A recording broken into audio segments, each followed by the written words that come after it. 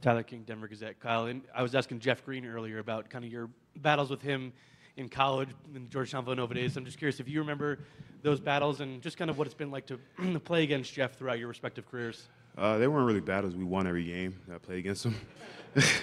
nah, man, it was uh, you know those those that Georgetown Villanova rivalry goes a long way, goes back a long way. Um, the respect that the two universities have for each other is awesome. Um, the the professionals, the pros that they've both you know made. Um, so, uh, but you know, just being able to have a guy who's been in the league now 16 years, um, a guy I played against in college, um, you know, just kind of you know him going through his heart stuff, just to be able to see him, you know, have this opportunity on the stage and be able to still be playing basketball at this high level is uh, it's a pretty cool story for him. And you know, just you know, you just kind of appreciate a guy like him for all the things that he's been through and still with doing it, you know, at a high level. Third row in the middle. The the Denver Post. I know you guys have seen Denver since November of, of 21 when the, the incident happened here, but I'm curious, what do you remember, especially about the, the post game and that I mean, was that? I'm guessing that had to be sort of a unique scenario. And then at this point, is there any lasting animosity? Um, I think it was just something that you know, it was a it was a heated moment. Um, you know, you know how to, it hurt a teammate of ours, and you know we wanted to have his back, and we always at that time, you know, we're going to always have our teammates back um, in that in that moment.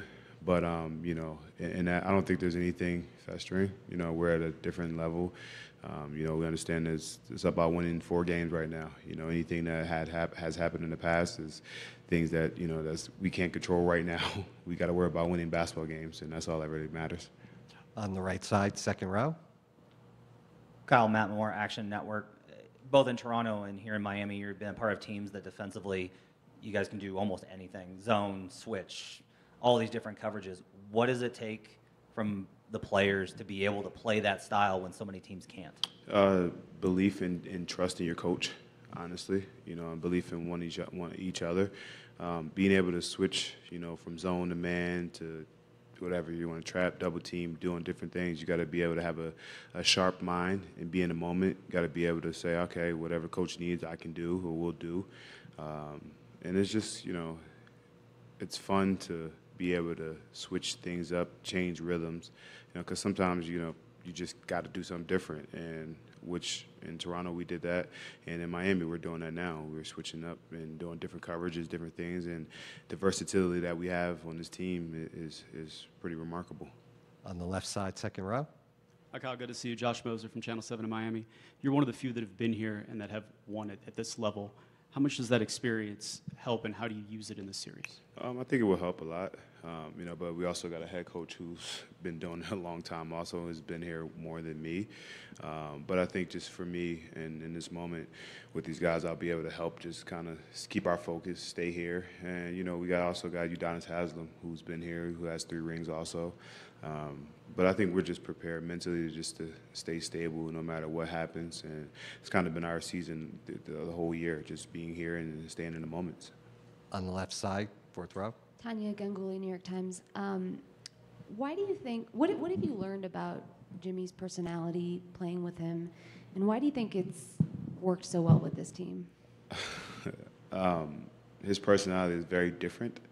Um, he's one of a kind. Um, but how he treats his teammates, he treats his friends, um, it's, it's like no other. And I think that's what helps us, you know, as a group.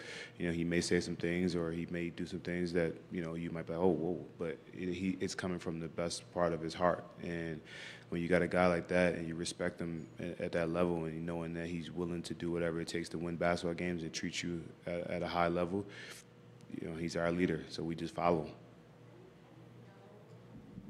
you know, you, you, just mentioned like he'll do some things sometimes where you're like, whoa, but then you know it's coming from a good place. Yeah. How do you know that? Because we're around him every single day, unfortunately, but fortunately. But being around him, you just get to learn the guy and just learn his true his true love for the game and his true love and for, for winning and, and for you as an individual. We're gonna take two more questions. David Aldridge.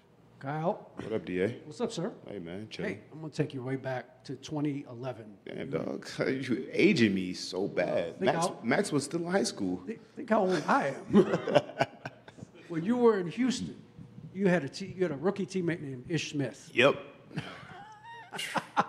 And Ish is finally in the finals. I just wonder what you remember about that year with him. He used to embarrass me and Aaron Brooks in practice. Too fast, couldn't keep up with him. I ain't gonna lie, I used to dislike having to go like really live practice against him. Um, but if you go back and people go look at his journey and the, the things he's been through um, to finally get to this point of getting to the finals, you know, it just I can't wait to just see him and say hello. And every time I see him, you know, he was he still called me vet. Um, you know, he just he was just a good kid. You know, coming out of Wake Forest. You know, he wasn't the best shooter, but can get anywhere on the floor at any time, any moment. Um, he was always a special kid and a special guy. And, uh, you know, sometimes you just have these stories that people should look into because his story is a very unorthodox story. And, um, you know, I'm sure he's happy to be in this moment. Final question on the left side. Joseph Kashar, the scorer. Kyle, so much is made about this team's resilience, and especially this year because the run you've gone on as an eight seed. And I was just curious, now you being in it in a couple years, is how would you define Heat culture? Because it's one thing for us to talk about it or write about it, but as someone in it, like how would you define it? What separates this organization from others? I think we just don't care about what others think. I think we do what we do no matter what. Um, I think we work hard no matter, you know, the time, the place, the situation. Um, I think we prepare ourselves and we're well prepared um, to go into any situation, no matter where it is, what time, um, anything. We're, we're prepared to do it. And I think we have the, and, and the culture is just about believing, and we believe in what we do every single day, every night, the work we put in. Thank you, guys. Thank you.